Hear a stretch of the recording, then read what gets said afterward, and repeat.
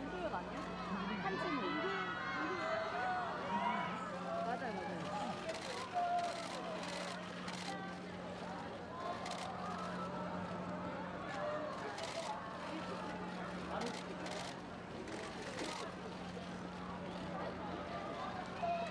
Yeah.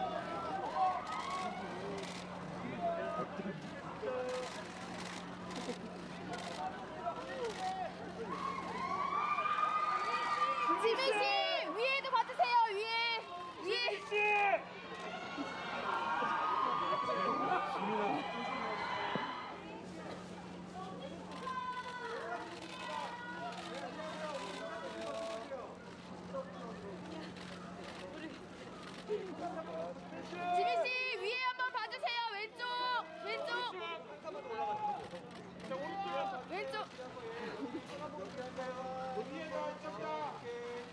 지민 씨 약간 오른쪽도 한 번만 봐주세요. 여기요. 여기도 하트 한 번만 해주세요. 오른쪽도 하트요. 올라와주세요 이제. 네. 올라가주세요 자 왼쪽이요.